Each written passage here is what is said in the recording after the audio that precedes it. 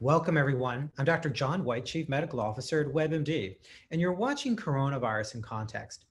We've been talking all day about vaccines. Well, remember, vaccines don't work if people don't take them. And there's some hesitancy among different communities about the vaccine. So, to help provide some insights, I've asked my friend, Dr. Sharon Allison Ottey, the Executive Director of the COSHAR Healthy Communities Foundation. Dr. Allison Ottey, thanks for joining me. Thank you for having me. Really love the work that you're doing. Let's get right at it. You've been talking about vaccine hesitancy, particularly in communities of color. Can you talk about what your latest research is showing? Well, we have conducted the largest study of particularly African American slash blacks in this country on uh, COVID uh, attitudes, but also the vaccine. And it really was very alarming with over 94%, and, and we surveyed about 3,100 validated studies in a scientific manner saying, I don't want the vaccine, or I may or may not take the vaccine, et cetera. And that, has a person that's worked in health disparities now for decades, is so troubling to me we have a flu vaccine campaign, HPV vaccine, all of these vaccine campaigns. And now, with the greatest pandemic of certainly my lifetime, um, this community needs to jump on board. What's so frustrating, I would imagine, here we have a disease, COVID 19, that is disproportionately impacting people of color. We have a vaccine strategy to protect people, yet those that are most at risk are saying, hey, wait, I want more information. What more information do folks need? Help us, you know, think it through and how we can get more people on board there must be information from trusted resources. And that's why at the foundation, we are engaging our churches, our community leaders, certainly social and civic leaders to say, hey, this is safe. But also, we are highlighting what you and I both have talked about for decades that for one of the first times in history, the most diverse panel of clinical trial participants are in this trial and after all of that work, saying that this has been tested in people that look like you uh, to a larger degree, this is safe, but more importantly, you could save a life. It, that has to be communicated, and we need to break it down to the basics. Vaccines save lives. We're in a pandemic. You not only want to protect yourself, you want to protect your grandmother, your mother, your kids, your whole entire family. And we must do this as a nation. Are you seeing generational issues? When when I talk to older patients, people of color, they'll talk about Tuskegee and mention it. Yes. But when you talk about Tuskegee to a younger population, they'll think you're talking about the airmen. That's right. They're not really aware just the school of the issues around syphilis, right? So, yeah. What are the generational issues we're seeing in terms of vaccine confidence and vaccine acceptance? You know, I've always liked to keep it straight, and I keep it straight when I talk to anyone. We we go back to, to, to, the Tuskegee experiment, and unfortunately, I've seen a lot of misnomers and misinformation even about that as it's now coming back to the forefront. But this generation and the millennials and, and even younger generations, they talk about just distrust of government, uh, that it's too fast and we're going to be guinea pigs and all of that. And why do I want to inject something foreign into my body? Now, mind you, as I keep it real all the time, this same generation will say, I don't want to inject anything or smoke, take anything, but we have legalized pot we, have the chicken sandwich with a thousand calories. We have uh, processed food and all of that. And I break it down, honestly, John, to that level and say, wait a minute. Well, if that's the case, are you following this in every aspect of your life? And the other part that is hitting home with particularly my 20 and 30 year olds, and I just did a webinar recently, is when I go over and say, this is what a clinical trial is. This is what had to happen. And these are the structures by which a vaccine can come through. Not one person, but panels and panels of persons and the safety issue. Tell us how you, as a woman of color, not as a doctor, mm-hmm. but a mm-hmm. woman of color, a mom, is evaluating the risk versus benefit mm-hmm. in terms of whether or not you're going to get the vaccine. Can you can you walk us through that calculation that you personally are making that our viewers can can relate to? The biggest thing I can say to anyone is I have an 80 year old mother, soon to be 81.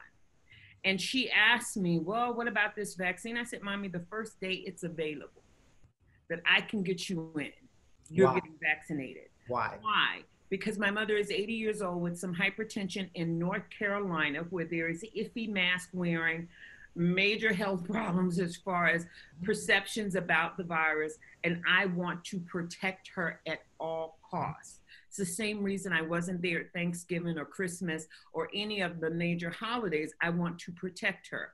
Why is it important? We are in the greatest crises of our lifetime.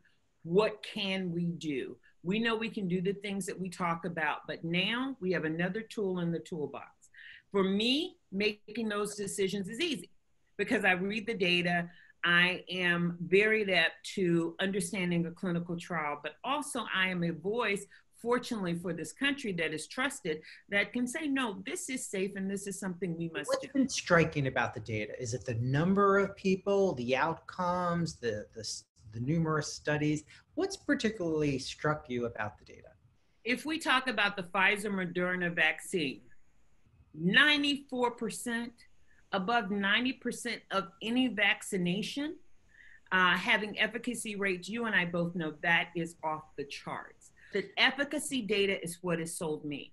What happens, Sharon, if we have a large percentage of Caucasians being vaccinated and then a very small percentage of people of color? And, and we still have a lot of virus around. What's the outcome there? We know what it is. We know what it is. And again, for you have done a lot of work in health disparities. I've done a lot of work in health disparities.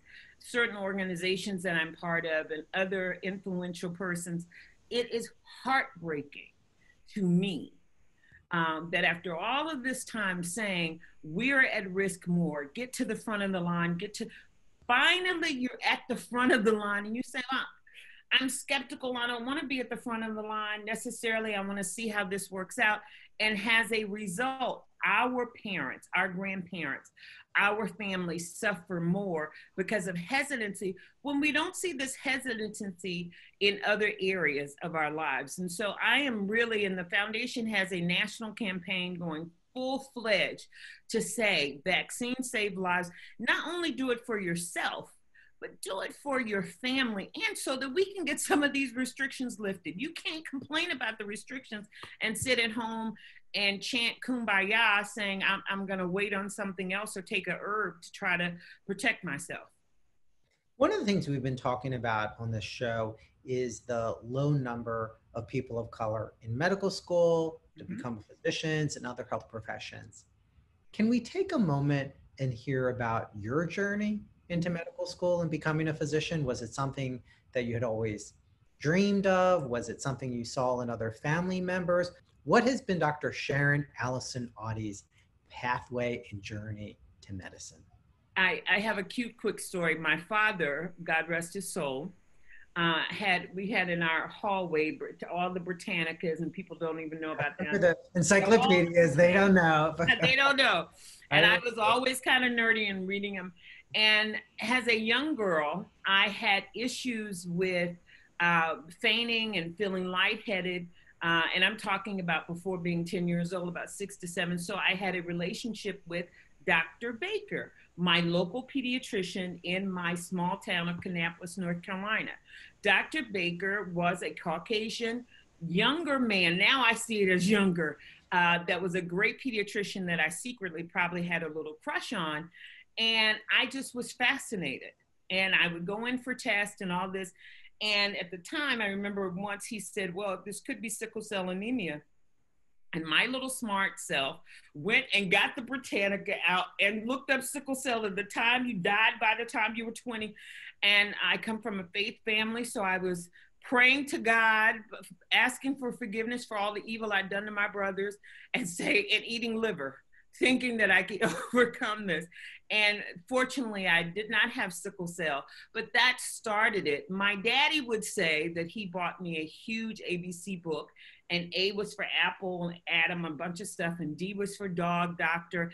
And I looked at it and said, Doctor, like Dr. Baker, that's what I'm going to be. I've never known that I wanted to be anything else, but he used to tell that story. And I was about seven when he told that story. And did you face struggles, bias, discrimination along the way? Oh, definitely. I am from small town, Kannapolis, North Carolina, which I love. But I remember on career day, and I've talked about this publicly on career day, I was always in advanced classes and all of that, which meant that there was one black girl and one black boy in the advanced classes and we were on an accelerated path. And i remember for career day standing up with my great presentation saying i'm going to be a doctor.